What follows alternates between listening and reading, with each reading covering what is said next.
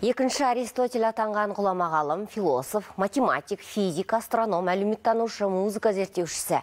Әбу Насыр Әл-Фараби бабамыздың 1150 жылдығына орай ұлттық арнаның түсіру тобы күні кеше Сирия елінен Шам шаһарынан оралды. Белгілі журналист Дархан Әбдік әзірлеген Әл-Фараби туралы директі фильм ұлттық арнадан қазан айында көрсетілмек. Надай мәселе, бабамыз мәңгілік тыныс тапқан жерде салынған құрылыс жұмыстары 2011 жылы аяқталған болатын. Бірақ Сириядағы жағдай соғыс лаңы 7-8 жыл бойы келісімдер жасауға мүмкіндік бермеді. Дәлірек айтсақ, еліміздің қаржылық қолдауымен салынған құрылыстың меншіктік мәртебесі айқындалмай тұр.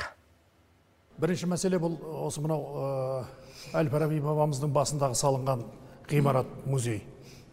Бұл маған өте ұнады. Дамаскінің ортасында 5200 шаршы метр мынау музейдің көлемі. Бүгінгі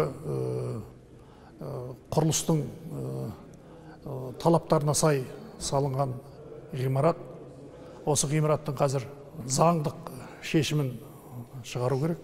Бұл ғимарат қазір е сирияның меншігінде емес е қазақстанның меншігінде емес қазір меншіксіз тұрған жағдайы бар. Бұның жағдайын осы жуық арада тезірек шешу керек. Ары қарай бұл ғимарат жұмыс жасау керек. Бұл ғимарат қазақстан менен сирияның арасындағы туристерді дамытуға өз үлесін қосады деп ойлаймыз. Жастайынан оқу білімге жетік болып, грек, араб тілдерін меңгерген Әбу Насыр Әл-Фараби отырар қаласында алған білімін Бұхара, Каир, Александрия, Дамаск, Бағдат қалаларында штастырып, ғылымның әр саласында 150-ден астам трактаттар жазды. Мысалы, 948 жыл жазған қайырымды қала тұрғындарының көзқарастары туралы трактатында қала тұрғындарын бақытты өмір сүруіне жағдай жасаған жоғары билік өнеріне тоқталған. Онда қайырымды қала тұрғындарының жақсы және игілікті өмір сүруі көбіне басқарушы билік өнеріне байланысты екенін, тек қайырымды билеушілер билеген халқы бар қалалар ғана бақытқа жете алатынын айтады. Ұжымдасып көмектесу, бір-бірімен қарым-қатынас жасайтын қоғамды білімді, сабырлы, адами қасиеттерді бағалауға қабілетті адамдар басқаруы керек деген. Бағдарламаны данышпан бабамыз туралы мына бір тәмсілмен түйіндемекпіз. Бірде Бағдат халифы оқымыстылардың ой өрелестіруі сайысын өткізіп жатады. Төрде отырған сұлтан жиынға кешігіп келген Әбу Насыр Әл-Фарабиге мұнда әркім өзіне лайық орынға отырады депті.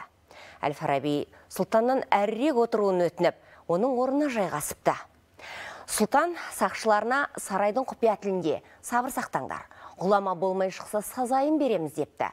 Сонда Әл-Фараби айтқаныңыз жөн әміршім, сабырлылық әрқашанда данышпандар мен құдіреттілердің үлесіне тиген деп жаңағы құпия тілде жауап қайтарып, жеті тіл білетін аңғартқан. Сонда сұлтан, о, сіздің сөздің қадірін білетін ұстазым, онда сөз басы сізде болсын, құлағымыз сізде деген екен.